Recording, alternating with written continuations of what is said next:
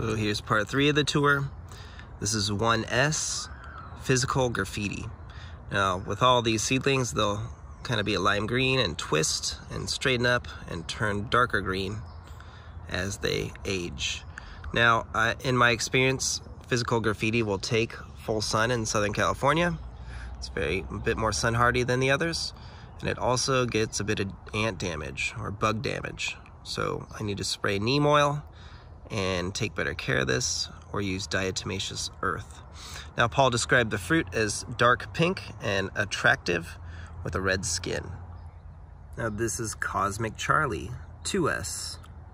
Now in my experience it was slower to grow and I got this from Spicy Exotics in Louisiana. And the fruit, as Paul describes it, can be deep red to dark purple. Now, I just experienced this one as being a little bit slower to grow, although it's taking off here as it reaches over a year old. And I also gave it a part sun. So it seems like Cosmic Charlie prefers a little less Southern California sunlight. Okay, the beautiful 5S, Purple Haze. Now you can tell it has slightly longer spines than the other hybrids from Paul Thomson. You see it right there. And in addition, the, the fruit is magenta in color, the flesh, and Paul Thomson said it was no improvement in flavor from the parents. So he says it tastes great, but there was no improvement from the parents. Now I also, this kept growing longer and longer, so I tipped it off with my fingertip to hopefully develop a canopy so Purple Haze grows pretty quick and I give it a bit of shade in Southern California. It seems to be not quite as sun tolerant as Sugar Dragon S8 or 1S Physical Graffiti. So this is Purple Haze 5S. There's actually another part of 8S that we need to discuss, Sugar Dragon.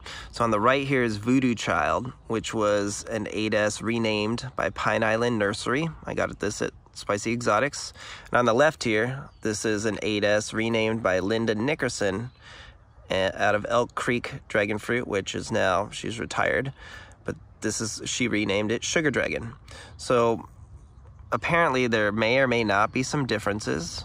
I can't, you cannot tell diff the differences from the plant material, but it could be possible that this is a seedling of a sugar dragon that was self-pollinated. I'm not sure. But we do know that sugar dragon on the left is a universal pollinator, as it described, and voodoo child is described as self-fertile. So it'll be interesting to see in the future. I want to see are there differences between these two. Is sugar dragon on the left the same thing as voodoo child on the right here? So I'm keeping them separated and the growth looks oh so slightly different in my opinion, on Voodoo Child. But time will tell. We need flowers, fruit, and the plant flesh to, to know more. And last but not least, I want to clarify something. I thought about how 4S could be Maria Rosa, but there's no way. I mean, look at the structure. This is such a different variety. And it's definitely not a dwarf like Paul Thomson describes. So 4S is still eluding me. If you have it or know about it, please hit us up in the comments and let us know more about it. All right, give us a like and a subscribe. Have yourself a wonderful day. Take care.